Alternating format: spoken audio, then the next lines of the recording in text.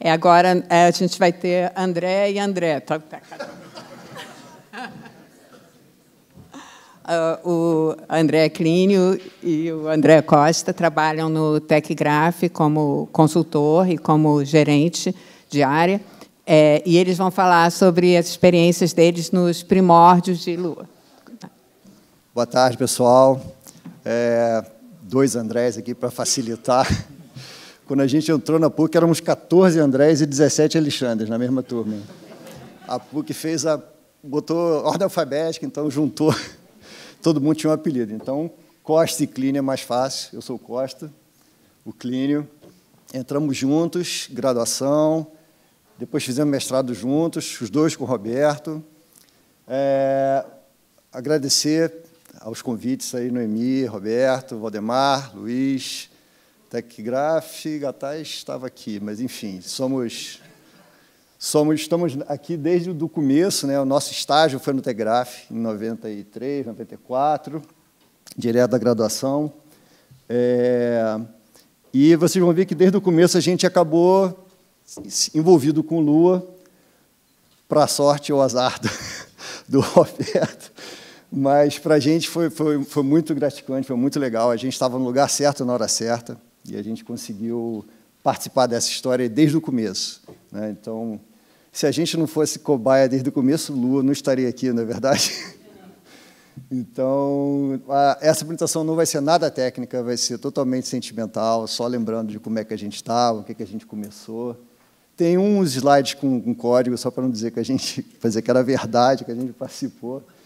É, mas é isso, é só contar a história, gente. Então, sem enrolar muito, né? A ideia era, era a Noemi procurou a gente, né? Ah, vocês querem participar como os primeiros a usar Lu? Eu falei, poxa, que honra, mas o que, que a gente fala?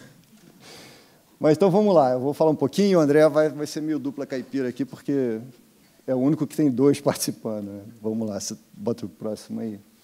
Bom, é, então lá no começo, né, quer dizer, o TecGraph, que hoje é um instituto com quase 500 pessoas, era um laboratório da PUC, é, filiado ou associado ao departamento de informática, né?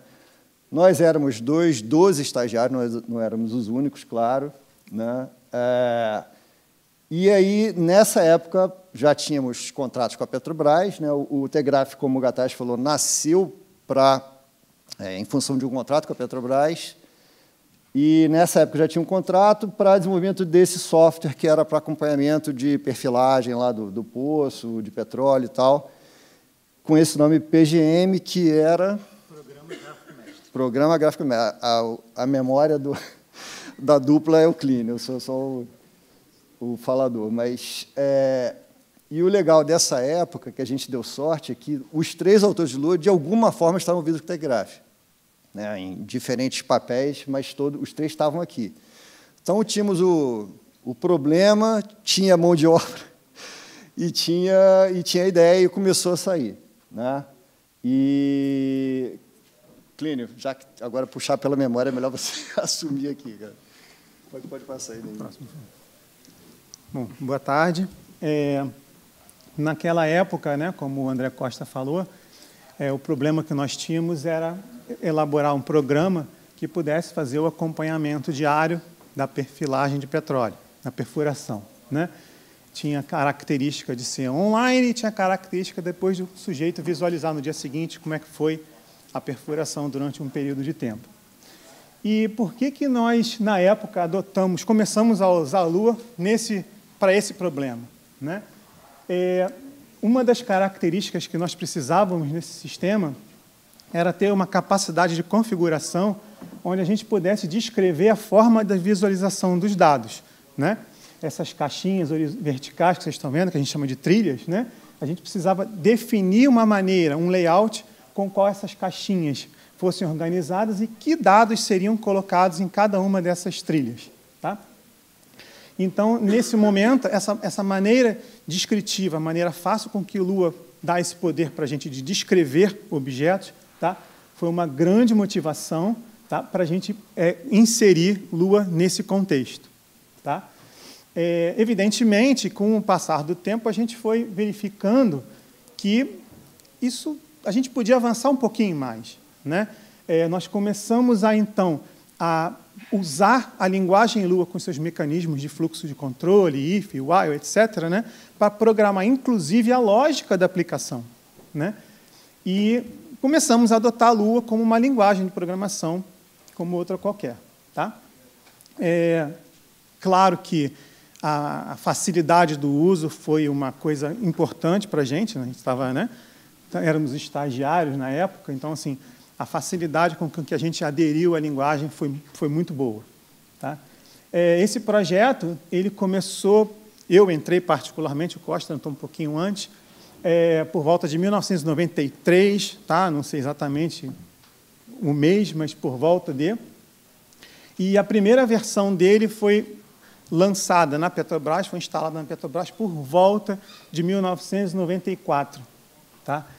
E quando a gente finalmente implantou, né, nós então migramos de estagiários para analistas. Né? Um rito de passagem. Um rito de passagem. Ah, a prova é essa aqui. Tá? É, nós nos formamos em 1994, a foto da nossa formatura ali naquele hallzinho de entrada aqui do RDC. Né? Por incrível que pareça, sou eu ali, o terceiro. O André Costa, o professor Gataz, professor Roberto na nossa formatura. Tá, próximo, por favor. Estava tudo esquematizado. Né? É. é. curiosidades um pouco, né? Claro, esse programa a gente posso contar aqui uma hora de histórias desse programa, mas para a brevidade né, da, da nossa, nossa conversa, algumas curiosidades que valeriam a pena a gente ilustrar né, esses primórdios. Né?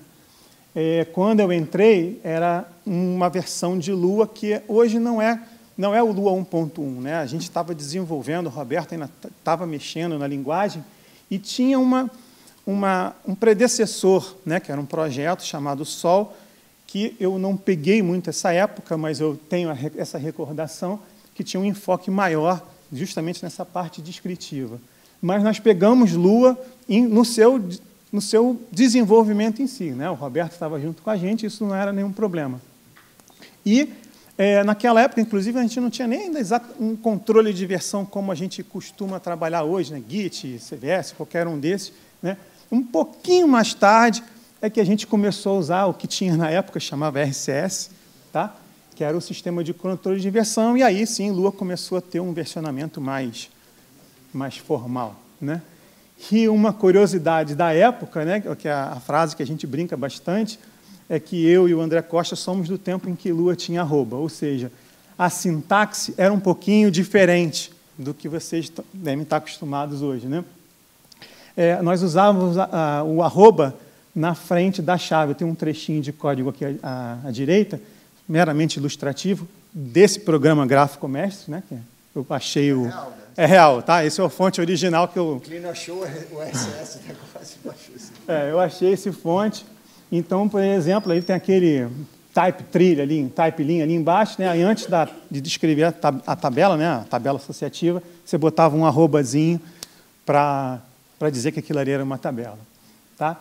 E tínhamos também, naquela época, alguns construtores especiais, que era o arroba abre e fecha colchetes e o arroba abre e fecha parênteses o abre e fecha colchete é quando a gente queria botar os índices como se fosse um array, né? 1, 2, 3, 4. Né? Era uma maneira mais simplificada de fazer dessa forma. E o arroba abre, chá, abre parênteses, perdão, é quando você tinha uma ideia de quantos, quantos itens você ia botar naquela tabela, então você podia dar um chute, o Lua tentava fazer umas otimizações. Né? Isso já não existe mais, né? Realmente hoje já não faz mais sentido. E, com isso, nós fomos os primeiros também, a, na versão 2 do PGM, né, é, nós tivemos que mudar a sintaxe para tirar todos os arrobas e todos os arrobas. Coisas que os estagiários têm que fazer, né? A gente já teve um programa em Lua para tirar o arroba de Lua. É, era uma ideia. Tá? E, além disso, claro, o, o programa gráfico mestre, o PGM, sofreu outras modernizações do kit de interface, sistema gráfico, etc. E, assim, como curiosidade, né, há, há poucos anos antes da pandemia, eu fui numa reunião de, de trabalho e o programa Gráfico Mestre estava tá rodando até então. Então, pelo menos, ele tem, vamos botar aí uns 25 anos rodando, graças a Deus, funcionando, pelo que parece, né? Está rodando até hoje lá. Tá? Imagino que ainda tem. Então. O ano ANA 7 que a Ana comentou, Isso. foi um dos softwares mais longevos do TechGraph, né? Ficou em produção muito tempo. É. Deve estar ainda, eu acho. Tá, acho que está. Próximo. Tá? Bom, e, bom, dentro do, né, eu e- trabalhando, eu e André Costa juntos, né, o PGM para a gente foi um começo, né? Quando a gente eh, migrou de pa- parar, não usar Lua somente como uma descrição né, de alguma coisa, mas a gente começou a usar a Lua como para implementar a lógica da aplicação, né, eh, naturalmente surgiu o uso dessa, de usar os mecanismos, a- o binding da linguagem com outras bibliotecas que nós tínhamos então à disposição, né, através do binding de ser com Lua, né. Então, por exemplo, ali tinha, tem alguns exemplos. O YuP-Lua, que era o nosso toolkit de interface que nós usamos, usamos no PGM. É, o CD-Lua, que era o sistema gráfico. Né? DB-Lua, que era para acessar banco de dados, etc. Então, nós começamos a usar também, é, acoplar a linguagem Lua ao uso de bibliotecas que nós tínhamos aqui no TechGraph na época. Tá? É, além disso, claro, né, não, poderíamos passar em columns né, as nossas dissertações de mestrado, tanto a minha como a do André Costa, de alguma forma tinham Lua envolvida. Vou citar aqui, né, mim, pela brevidade da, da apresentação. E, claro, né, não ficou somente nesse projeto, eu, eu acoplado a essas bibliotecas, mas outros projetos em que eu trabalhei, o André Costa também trabalhou, eh, vieram depois. Né? O ANA 7, que foi agora mencionado pela, pela Ana Resta, eu particularmente trabalhei dele muitos anos depois. Tá? Eh, o MPA, também produto do TechGraph, está sendo utilizado hoje ainda, é um software... Um software de automação industrial que também tem quanto tempo de estrada aí? Uns, tem uns 20 anos de estrada. Tá, né, lançando versão, tá, tá em uso lá nas É, em, instalações da Petrobras. é, em uso real mesmo. não- E eu vou citar o último ali, né, que eu trabalhei, que foi o SAGE, que é o sistema de gerenciamento de energia utilizado pela Eletrobras e ONS e as empresas, a grande parte das empresas de energia elétrica, Chesf, Eletrosul, Eletronorte, etc., usam esse sistema SAGE, com que nós trabalhamos junto com eles durante muito tempo, e estou trabalhando atualmente com eles, tá? que também faz uso da linguagem Lua em muitos dos seus recursos. Tá? Vai passar no meio. É, inclusive, só lembrando, quem, shameless plug aí, quem quiser, quem conhecer alguém, a gente tá, tem vagas aí para trabalhar com luz nos nossos projetos. Tá? Esse é rápido, senão vão brigar, mas só pra, não podia deixar. E agora, só para acabar mesmo, só algumas curiosidades. É, do- dois detalhes rapidinhos, são dois slides. A placa do carro.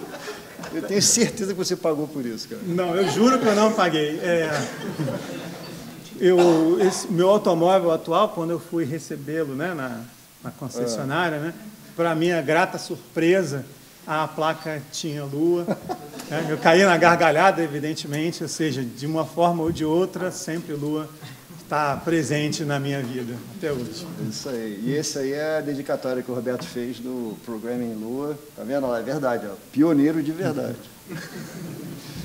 E é isso, pessoal. Então a ideia era só contar um pouco da história. Estamos aqui felizes, né, com 30 anos de Lua, e sermos lembrados assim, muito bacana. Mas claro que o mérito nunca é nosso, é muito mais de todos vocês. E foi, né? Acho que Foi, é, eu, assim, eu acho legal da gente é, mencionar né, que naqueles dois moleques que estavam ali, estagiários, né? mais cabelo, cabelo É, preto. mais né? cabelo, cabelo preto e tal. É, nós éramos bastante, nós quando entramos né, no grupo, no projeto, nós éramos bem garotos e bem despretensiosos, né? A gente não tinha aquela coisa, eu vou entrar para dominar o mundo, não tinha nada disso. A gente estava muito mais interessado em fazer coisas legais, fazer coisas úteis para as pessoas. Nós tivemos o prazer realmente de ver esse software sendo utilizado na prática, né? sendo muito novo vendo seus softwares sendo utilizados de verdade por pessoas que dão relevância ao que você faz foi bastante importante para a gente. Né? E o que na época era para a gente era o nosso chefe, o nosso professor, depois o nosso orientador, né? É, hoje são colegas de trabalho, né? E principalmente são amigos nossos. A gente é. se frequenta, a gente tem o hábito de, de se encontrar de vez em quando. Então, para mim é bastante gratificante estar aqui hoje, podendo olhar para trás né, e ver tudo isso que a gente construiu juntos aí. Parabéns aí para vocês. Boa, é isso mesmo. Para todos nós. Um, um.